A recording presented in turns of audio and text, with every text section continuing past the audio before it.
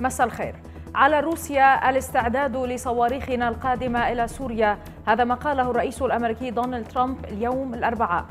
الخارجية الروسية ترد على تحذيرات ترامب بأن ما يجب فعله هو استهداف الإرهابيين وليس الحكومة السورية. النظام السوري غير متفاجئ من تصعيد واشنطن ويصفه بغير المنطقي والطائش. ولي العهد السعودي محمد بن سلمان يعلن أن السعودية قد تكون طرفا في تحرك عسكري بسوريا إذا اقتضت الظروف. الرئيس الفرنسي إيمانويل ماكرون يقول إنه في حال قررت فرنسا شن ضربات عسكرية فسوف تستهدف القدرات الكيماوية للنظام.